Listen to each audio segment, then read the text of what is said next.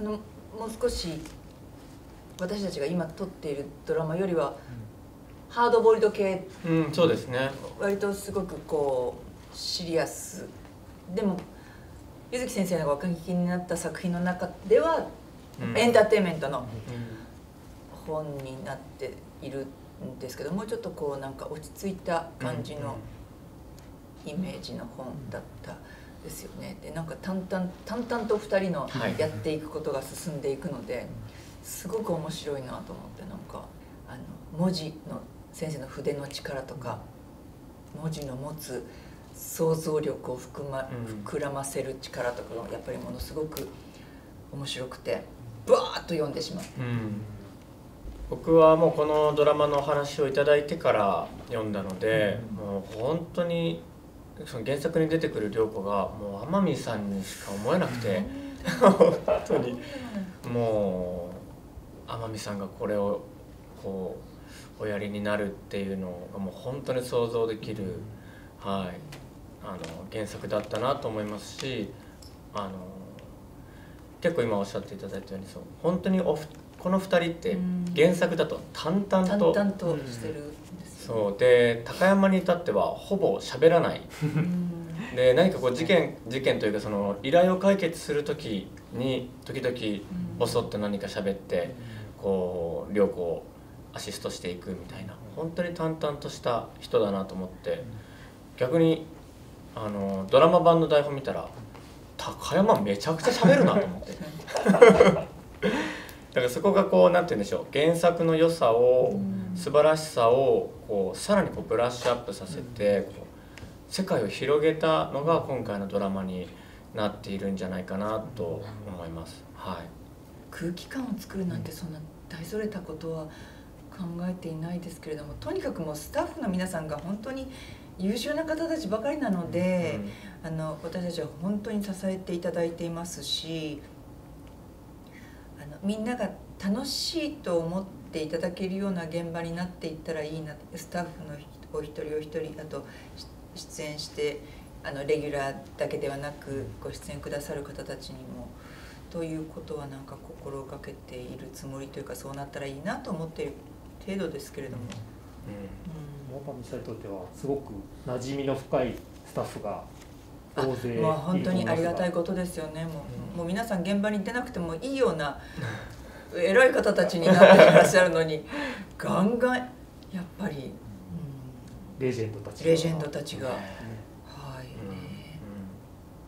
このこうスピード感はい、松下さんはこの参戦されてみていかがですか？ものすごい独特な緊張感がありますね、はい、やっぱりセットのえー、シーンなんかは特に、えー、事務所のシーンはこう長いシーンだったとしても基本的には一発で、うん、えー、頭から最後までいくというのが割とこう普通の現場ですよね。うん、なのですごいこう何でしょう舞台をしているような、うん、舞台の時の緊張感と似ている、はい、であの緊張感から出るいいテンポで特にこの2人の掛け合いでテンポがすごく大切だなと思っているのでこう駆け足になりすぎずでもあの大事なテンポは落とさずにそして難しいセリフたちを噛まずに言えるかどうか。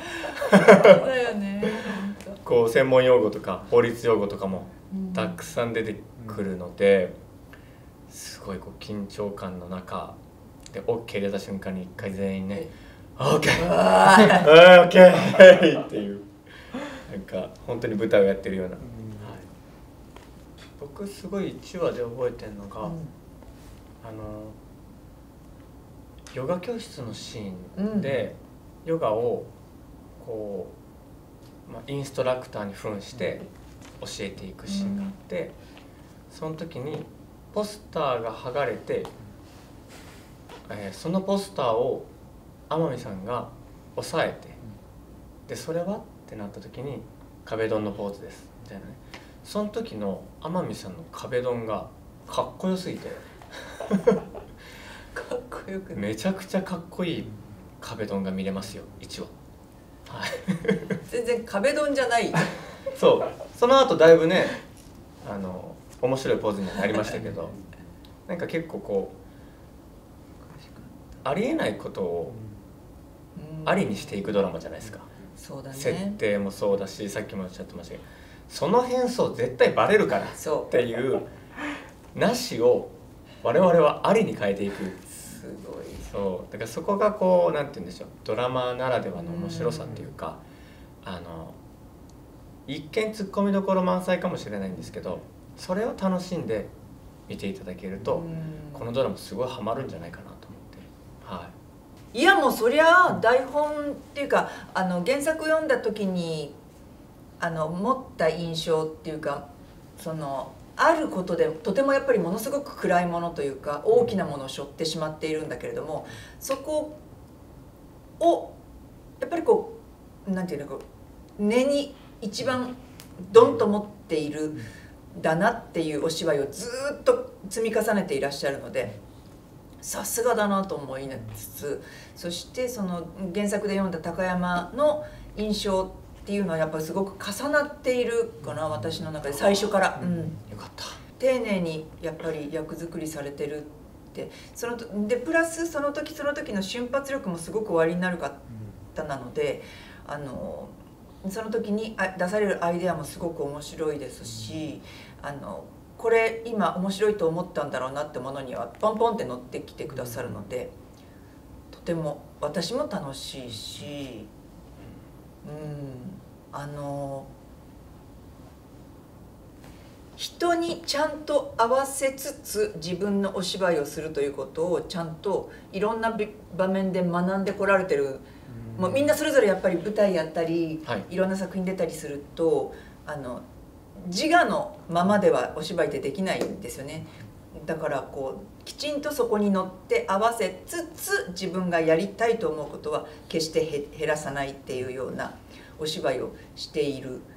あちゃんと積み重ねてこられてるんだなってそれをすごく感じる。だから私も彼がこれをやりたいんだろうなっていう領域はあのもうパッと見てやっぱり分かるので、うん。そこは手を出さないようにもちろんするしそれプラスここをちゃんと彼のこういうところを押した方がいいなと思うところはあの自分を引いて出すようにしたりっていうのはその駆け引きがちゃんとできるからすごくありがたいし楽しいし助かっております。ありがとうございます。もう本当に。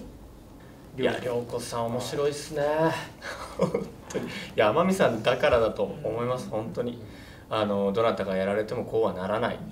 天海さんだからこその、えー上水涼子がいますし、えーなんて言うんでしょう。もちろん現場、えーでも天海さんご自身が引っ張ってくださる姿は、涼子さんと非常に、えー通じるものがあるなと思うし、うん、すごく、えーコミカルだし、やってることはいちいちぶっ飛んでるんですけどなぜか品がある。これはやっぱり天海さんがあのやってくださってるからだと思うしであと一本筋の通ったところ、えーかっこいいところ、うん、あとドラマでは必ず、えー話の一番最後にはその依頼者の人たちに寄り添う涼子さんが必ずいるそれは僕はそばで見ていてもちろん涼子さんとして見てますけど天海さんのようだなとも思う。その人に対する優しさであったりとか導いてあげる力、うん、は本当に何だろう。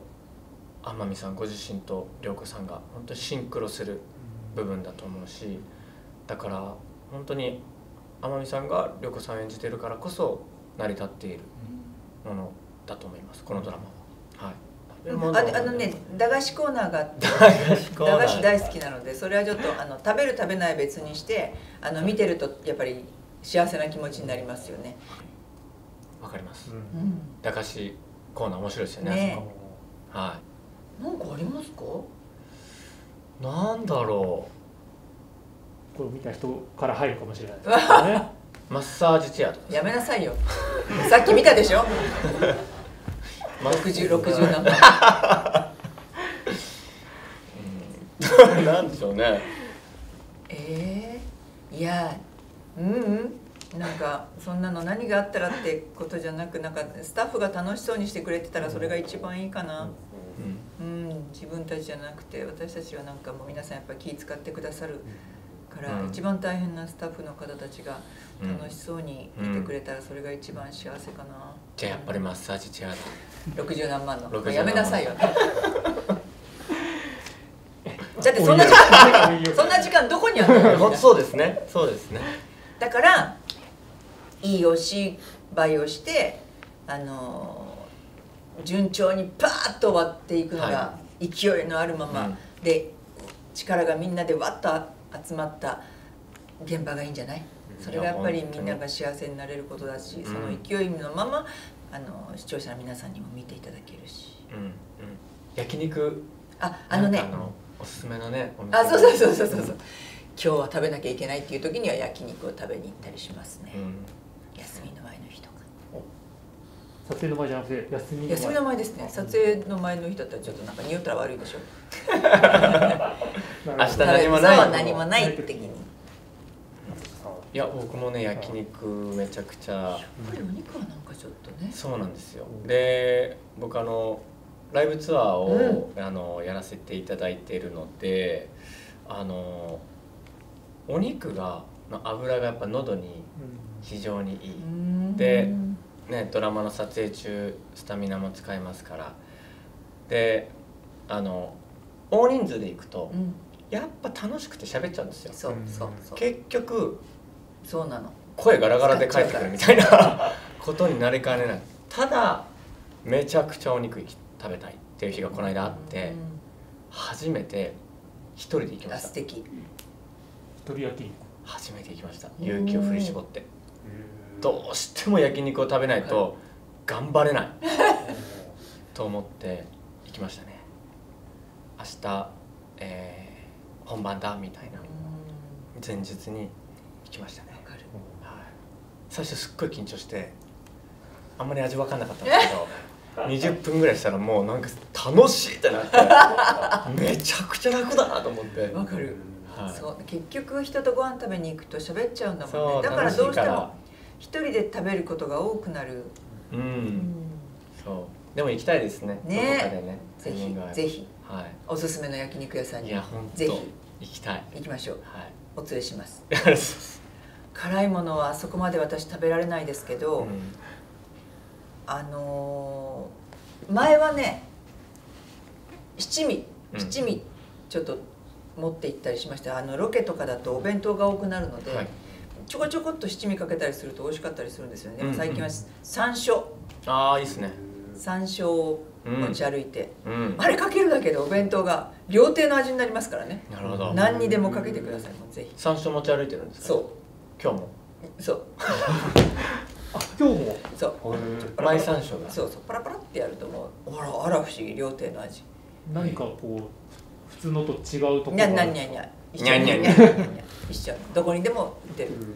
えっと無の時間が大事です別にそのあのスピリチュアルなことじゃないですよ、うんうん。本当に何にもしてない時間が。何分ぐらい？えーっとひどい時は1時間、あうん、で本当に良くないなと思って自分で自分の背中を押してあの抜けるんですけど。でもそういう時間が意外と大事。うん。何にも考えずにただぼーっとしてる時間とか。あ大事。は多分。整理されるのかもね。そう。セリフ覚えた後とか。うんなんか作った後とか。寝る前にそうですね。うん。何も考えずに携帯見てるだけの時間とか。うん。なんか自分なりのリセットの方法とか自分なりのリラックスの仕方とかあの試していかないとねどれが自分に合うのかわからないから。そうかもしれないですね。私カットかかったら切り替え。カットって言われた瞬間にうわーってなる。うん切り替わるってなんか切り替えなきゃいけないほどなんかのめり込むようなお芝居の人じゃないかも。だってほらやっぱりこうななられてる方いらっしゃるじゃないですか、まあ、だ私はなんかそこが半分自分で半分やっぱりうん。その自分の集中をポンって持っていかなければっていう意識がすごくある方なので、うん。そののめり込んでいらっしゃる方たちはすごいなと思う。あれができないからあの集めて集中力を集めなければダメな自分で。だからお願いしますっていうのかもそういうことか。いやあの必ず本番前に「お願いします」ってあのスタッフさんにお声掛けしてる姿を何度も拝見してていやなかなかそういうふうにおっしゃる方いらっしゃらないしでもやっぱこのガッとやってカットかかった瞬間にパイってこう、まあ、ある意味あの忘れて次のこと考えられるっていうのは、あの舞台の経験がでかいようなそうかもね。僕も実はそうなんですけど、舞台は一日、ま、毎日同じことの繰り返しなので終わったらあのね一旦今日のことは忘れてそうそう明日のこと明後日のことって考える癖が僕も実は割とついてたりするんで、うん。いやまあこれみんなそれぞれ悩んでらっしゃると思いますよ、うん、うん。どうしてるんですか？私はねやっぱね自分の字で書いた横文字のセリフが入るみたいで。はい。だからそれはもうどんなにめ面倒くさいから覚えちゃった方が早いんじゃないって言われるんですけど、はい。そうした方がなんか頭の中に入るみたいなんですよね。で終わるとベリベリベリって破くの。そうするとなんか頭の中から消去されるみたい。ど。はいはいはい。そっかそっか。僕はもう本当にシンプルです。ブツブツブツブツ。あの家自宅で。家とかあの移動中とかにブツブツブツブツ言いながら覚えますね、うん、書いてる時期もあったような気はしますけど、うん、頭の中にそのセリフが記憶されても口で喋るとまた別なんですよ。だから口がその言葉の言葉の列をの形を覚えていてくれないと頭の中でどんなに浮かんでも口から出てこなかったりするのでも後半になると、はい。えっと、例えば夜遅くなっていく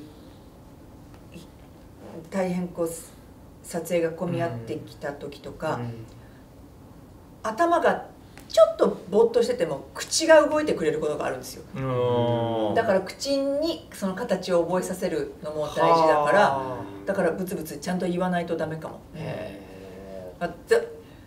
って気がついた時に喋っててくれたりとかするから。ーすごい。もう一人の。いやもうすごい。もう一人の天海さんがいるんですナイスって思いながら。もうはい台湾大好きさ。白菜発酵させたお鍋、へいやめちゃめちゃ美味しいです。でこの間野田秀樹さんたちのカンパニーが台湾に行かれたので、頼むからその白菜の鍋を食べてきてくれって言って、えで教えて教えてって言うからそこをうん。教えてさ、は今食べてるってめちゃめちゃうまいってちょっとこれは台湾ロケですね。もちろん。台湾ロケに行きましょう。僕はね行ったことはないんですけど僕が過去に出演したドラマも台湾でうん。あのたくさん放送していただいたりとかしているのでよくあのメッセージだったりとかお手紙とか台湾の方からいただいたりするのであのすごいこう勝手に親近感をあの抱いてます。うん。はい。あ松下君いなかった。あのパイナップルなんとかっていう果物を台湾の方が送ってくださって、はい。なんですかあれは。あのあほんのり甘いなんか洋梨っぽい味だった、あフルーツですか？こんなに大きい種が入ってて。あええドラゴンフルーツみたいな外側なんだけど中身が。白いんですよね。白くて。美味しかった。うわ。めっちゃこれ美味しいですよちょっと上鶴エージェンシー行かないとじゃない。台台湾ツアー。行きましょう。行きましょう。台湾での依頼を。依頼を受けましょう。はい。依頼を待ちましょう。あなんかこう追いかけて台湾まで行くっていう。か いいんじゃないですか？受けちゃって依頼受けちゃって台湾に飛んだ。うん。なるほど台湾にいると。そうだスペシャルだこれは。よし。